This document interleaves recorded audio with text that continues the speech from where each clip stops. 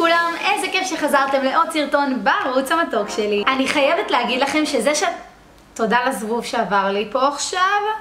אני חייבת להגיד לכם שזה שאתם רושמים בתגובות כל מיני רעיונות למתכונים זה מה זה עוזר לי וזה גורם לי להשראה מטורפת. אז בעקבות הביקוש למתכון מלוח, הפעם הכנתי לכם עוגת בורקיטסים אימא'לה מושלמת. שחיתות, שחיתות, שחיתות. אז אם בא לכם לדעת איך להכין, פשוט תמשיכו לצפות. בקערת המיקסר נשים 500 גרם קמח, שזה 3 ורבע כוסות, 200 גרם חמאה רכה, 2 כפיות אבקת אפייה, 200 מיל שמנת חמוצה או גבינה לבנה, ורבע כוס מים. נערבל, אני משתמשת בו"ב גיטרה, אתם יכולים לעשות את זה עם הידיים אם אין לכם מיקסר. מערבלים עד לקבלת בצק אחיד, שימו לב לא לערבל יותר מדי כי זה פוגע בפריחות הבצק. נשטח את הבצק על ניילון נצמד, נעטוף אותו טוב טוב ונכניס למקרר לפחות לשעה. למליץ 250 גרם גבינת ריקוטה, 100 גרם גבינה בולגרית מעודנת ו-150 גרם גבינה צהובה מגורדת וביצה אחת. נערבב היטב עד לקבלת תערובת אחידה כזאת. נקמח היטב את משטח העבודה, נניח מחצית מהבצק ונעשה שתי נגלות, זה הרבה יותר נוח. נרדד את הבצק לעובי של סנטימטר,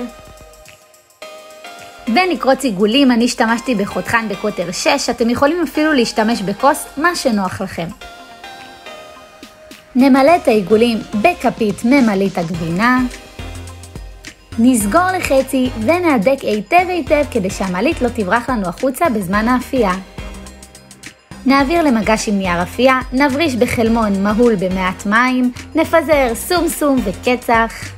ונתחיל לסדר אותם בתבנית. אני השתמשתי בתבנית מרובעת בקוטר 22, אתם לגמרי יכולים להשתמש גם בתבנית חד פעמית מלבנית.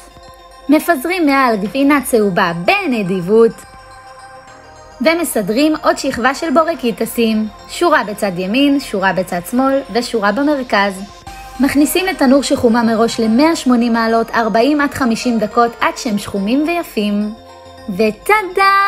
וטאדאם! קבלו כמה שזה מושלם. בהתחלה תלשתי אחד, הייתי חייבת לטעום כבר את הדבר הזה.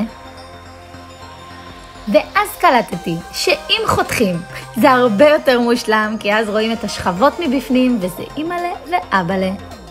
טוב, קבלו את הדבר ההיסטרי הזה. אז חברים, לייק אם אהבתם את הסרטון, תירשמו לערוץ אם אתם עדיין לא רשומים, והפעם תרשמו לי בתגובות רעיונות למתכוני חנוכה. אבל תהיו מקוריים, טוב? ונעבור למבחן הטעימה. וואי, כמה חיכיתי לזה. וואו. וואו, טוב, תקשיבו, השכבות האלה. אימא, מה זה? וואו. וואו.